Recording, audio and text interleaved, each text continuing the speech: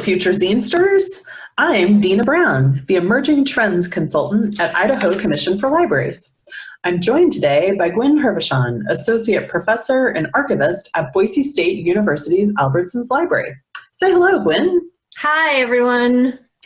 Don't know what a zine is or wanting to learn more? Well, you're in the right place.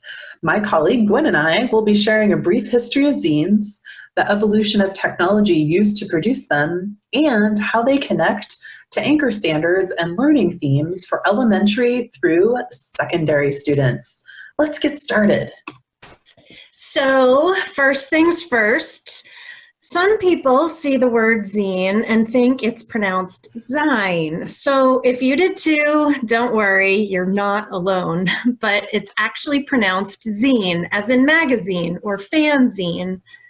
Zines are similar to magazines and fanzines, but the key is that zines are self made and self distributed publications. And so they're usually made without spending a lot of money and have a pretty small print run.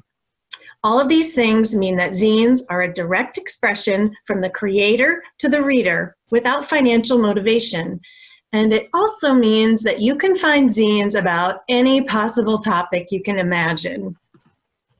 Some zinesters choose to create zines in a series, like issues of a magazine, but some people make zines just as a one time publication.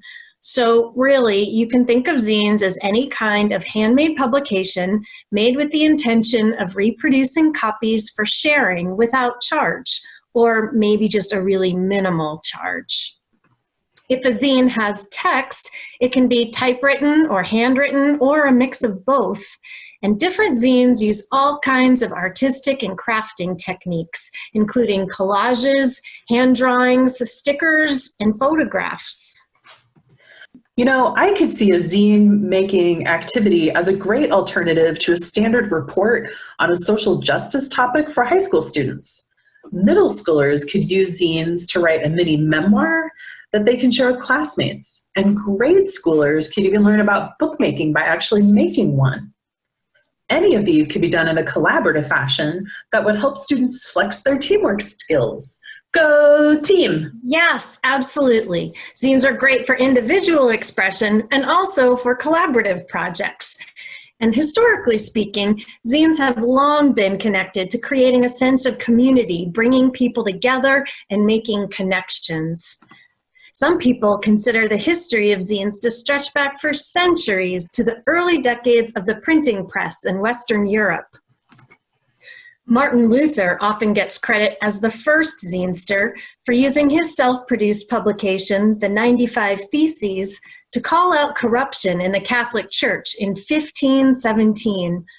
Originally printed as a single sheet broadside, like the one pictured here, Hundreds of copies were soon printed in pamphlet form and helped spark the Protestant Reformation throughout Europe. Here in the US, Thomas Paine's 1776 pamphlet, Common Sense, encouraged the colonies to fight for independence from Great Britain. And so this publication is sometimes considered the first American zine. Wow, so many important people throughout history have been zinesters. It's true. But it wasn't until the early 20th century that a variety of small press and underground publications started popping up and eventually led to the type of publication we now think of as zines. From the 1920s through the 1960s, writers, artists, and political groups used their self created and self distributed publication to get the word out about their ideas and share their work. They created artistic manifestos, underground political newspapers, poetry chapbooks, literary magazines, comic books, and science fiction fanzines. The independent and artistic spirit of these publications appealed to the do it yourself punk rock music scene of the 1970s. Musicians and fans started making their own publications about bands and punk culture and eventually, these fanzines became just known as plain old zines. Zines and zinesters continued to be associated with punk and underground music throughout the 1990s.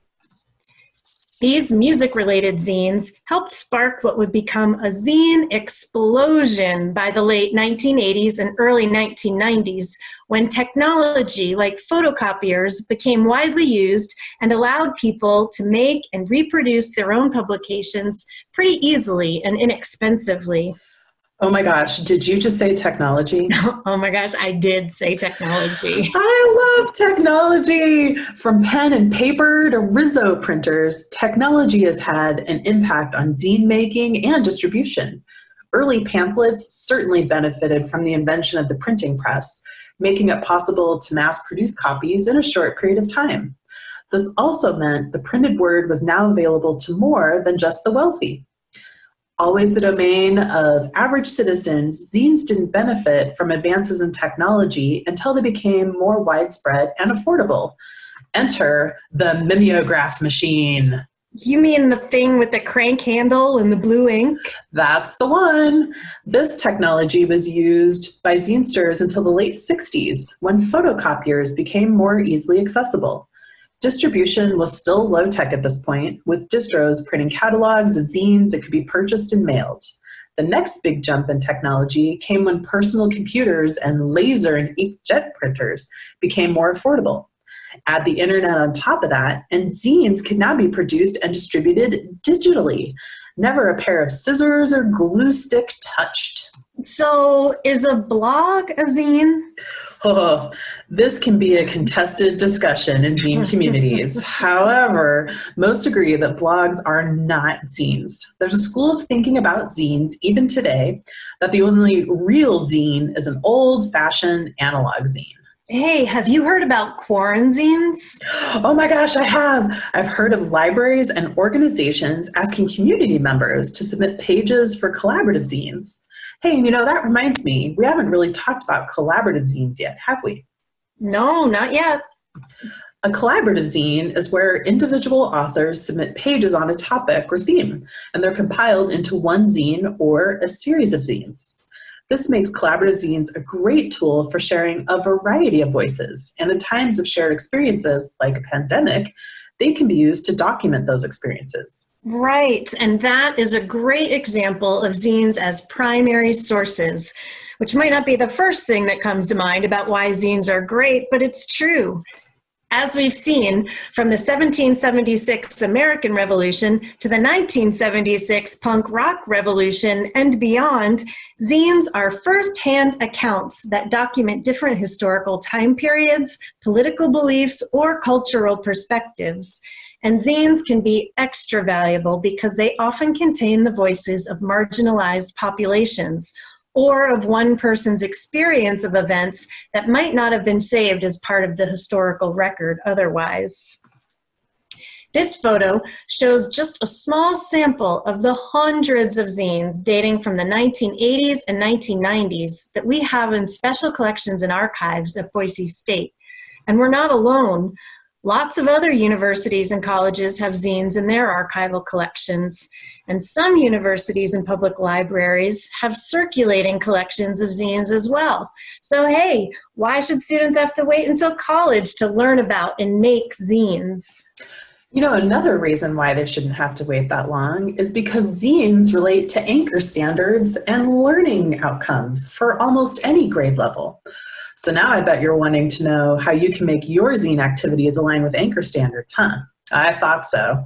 So let's talk about for K through fifth grade students, zine making addresses a number of college and career anchor standards for writing, such as write informative text to examine and convey complex ideas and information clearly and accurately through the effective selection, organization, and analysis of content, like an animal zine for an elementary student.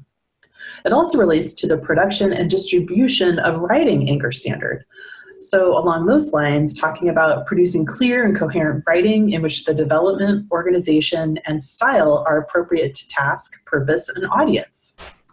For older students, so for 6th through 12th graders, zine making aligns with a number of college and career readiness anchor standards for reading. One of them being the ability to analyze the structure of texts, including how specific sentences, paragraphs, and larger portions of the text relate to each other and the whole. So hopefully that gives you a starting point for connecting zines to anchor standards and you're excited to share zines with your students. Thanks so much for joining us.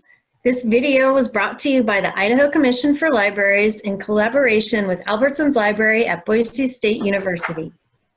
We would like to thank the Institute for Museum and Library Services who helped partially fund this project. Happy zine making, everyone!